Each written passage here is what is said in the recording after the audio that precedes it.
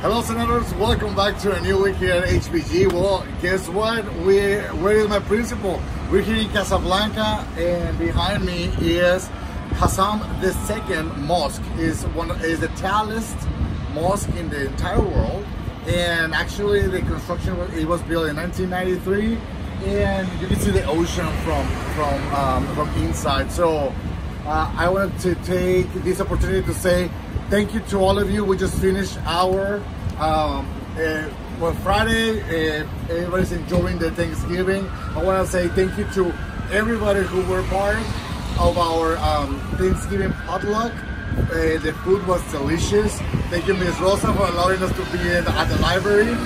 Also, to uh, our clubs, to our tutoring, and everything that happened the week before Thanksgiving, you know, some of this crazy. But thank you everybody um, for going always the extra mile, even if it was raining or shining outside. We always did the best for students. But we come back, so on Sunday we're gonna give the little another um, video, another welcome, but it's gonna be more about uh, what is coming up for the next three weeks.